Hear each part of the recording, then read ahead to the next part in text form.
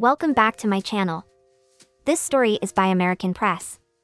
Atlanta, AP, reality TV star Julie Chrisley's sentence for bank fraud and tax evasion was thrown out Friday by federal appeals judges, who ordered a lower court to redo her punishment over what the appellate panel called a narrow issue. Julie Chrisley and her husband, Todd Chrisley, who earned fame for the show Chrisley Knows Best that chronicled the exploits of their tight-knit family, were convicted in 2022 of conspiring to defraud community banks out of more than $30 million in fraudulent loans. The Chrisleys were also found guilty of tax evasion by hiding their earnings while showcasing an extravagant lifestyle. The couple's accountant, Peter Tarantino, stood trial with them and was convicted of conspiracy to defraud the United States and willfully filing false tax returns. A three-judge panel of the 11th U.S. Circuit Court of Appeals upheld the convictions of the Chrisleys and Tarantino in a ruling that found a legal error only in how the trial judge calculated Julie Chrisley's sentence by holding her accountable for the entire bank fraud scheme. So the appellate panel sent her case back to the lower court for resentencing. We're pleased that the court agreed that Julie's sentence was improper, but we're obviously disappointed that it rejected Todd's appeal, Alex Little, an attorney for the couple, said in an email message. He added that the Chrisley family was hopeful for more good news in the future. Before the Chrisleys became reality television stars, they and a former business partner submitted false documents to banks in the Atlanta area to obtain fraudulent loans, prosecutors said during the trial.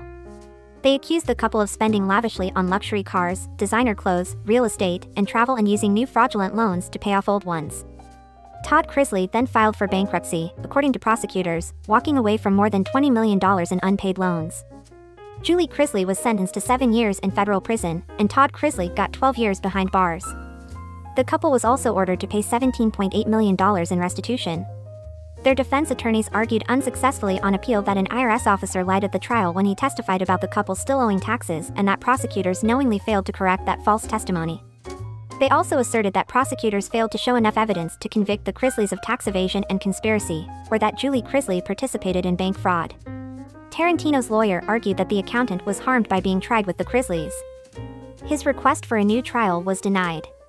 The appellate judges found only one error in the case, they ruled that the trial judge at sentencing held Julie Chrisley responsible for the entire bank fraud scheme starting in 2006. The panel ruled neither prosecutors nor the trial judge cited any specific evidence showing she was involved in 2006.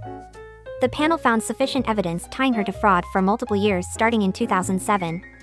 We must vacate Julie's sentence so the district court can address the narrow issue of what the proper loss amount attributable to Julie is so that her sentence can be recalculated, the appeals panel wrote.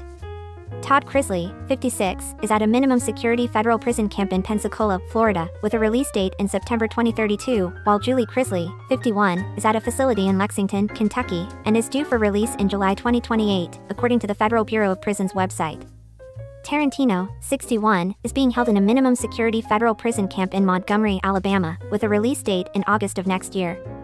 Please subscribe, comment, like, share, and follow for more content. Please support my channel and send it to Cash App Dollar Director 327. Thank you for your gift. It is greatly appreciated.